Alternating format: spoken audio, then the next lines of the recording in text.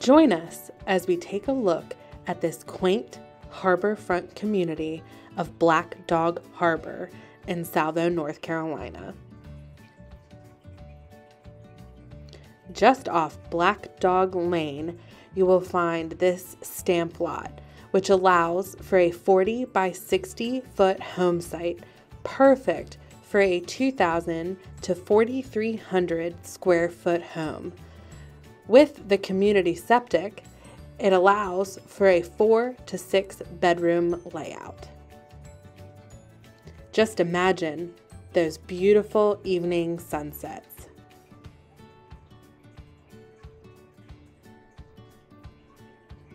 Don't forget the almost 10 acres of common area with private boat ramp,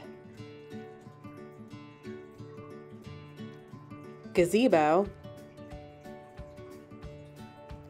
fishing area, and so much more.